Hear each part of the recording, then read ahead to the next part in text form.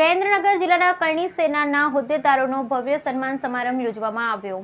ક્ષત્રિય સમાજના અગ્રણી આગેવાનોના હસ્તે કરણી સેનાના નવનિયુક્ત ટીમને સન્માનપત્ર આપી સન્માનિત કરાયા. સુરેન્દ્રનગર રાજપર બોર્ડિંગ દુધરેજ રોડ ખાતે સૌપ્રથમ સમાજના આગેવાનો દ્વારા દીપ પ્રાગટ્ય કરી કાર્યક્રમની શરૂઆત કરવામાં આવી હતી. સુરેન્દ્રનગર જિલ્લાના શ્રી રાજપૂત કરણી સેના દ્વારા જિલ્લાની કરણી સેના તાલુકા અને શહેરની નવનિયુક્ત ટીમનું ક્ષત્રિય સમાજના આગેવાન હસ્તે સન્માન કાર્યક્રમ યોજવામાં આવેલો.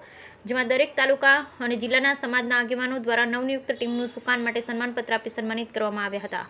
આ કાર્યક્રમ દરમિયાન શ્રી રાજપૂત કરણી સેના પ્રદેશ અધ્યક્ષ વીરભદ્રસિંહ જાડેજા તથા ઝાલાવાડ ક્ષત્રિય સમાજના પ્રમુખ ડોક્ટર રુદ્રદત્તસિંહ ઝાલા, રાજપૂત યુવા સંઘના વિસુભાઈ ઝાલા, પ્રવીણસિંહ સાદુરકા, મહેન્દ્રસિંહ ચુડાસમા, કનકસિંહ કૃપાલસિંહ જાડેજા જેવા પ્રદેશના અને જિલ્લાના આગેવાનોએ હાજરી આપી અને નવનિયુક્ત ટીમને સામાજિક રૂપરેખા આપી હતી અને સામાજિક સેવા કરવા માટે આહવાન કરવામાં આવ્યું હતું. આ કાર્યક્રમને સફળ બનાવવા માટે સેજપાલસિંહ ઝાલા શ્રી કરણીસેના જિલ્લા પ્રમુખ શિવરાજસિંહ ઝાલા, જિલ્લા પ્રભારી પ્રભારી કૃષ્ણપાલસિંહ ઝાલા અને જિલ્લાની ટીમ દ્વારા જહેમત ઉઠાવી. Bureau report Maheshbhai Utariya, Surendranagar.